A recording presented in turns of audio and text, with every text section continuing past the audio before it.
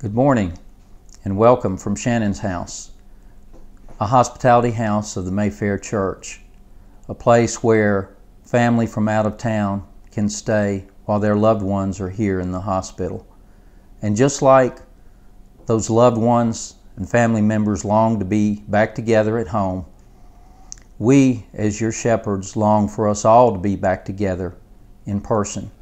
But in the meantime, we can worship together online, we can worship in spirit and in truth, and we can worship through the week by reaching out to those who have needs.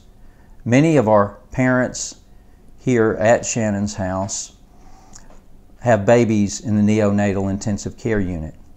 And some of those parents are adopting babies.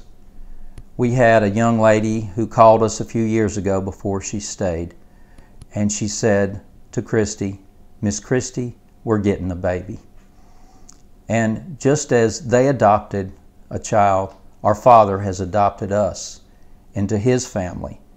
And we're no less loved by being adopted, just like that mom loves that child as much as if he was born into her family. And God, through the Apostle Peter, said, He loves us so much and cares for us so much that He doesn't want us to worry. He says, Don't have anxiety, but cast all your cares on me. And then Jesus told us in Matthew 10, My Father cares even for the sparrows and then added, Don't be afraid. You're of much more value than many sparrows. And we want you, if you have a need during this coming week, to reach out to us, either through the church office or through emails, elders at mayfair.org or ministers at mayfair.org. May the Lord bless you and keep you. May He make His face to shine on you and be gracious to you. May He turn His face toward you and give you peace.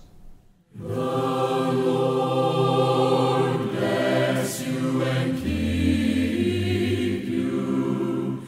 The Lord lift his countenance upon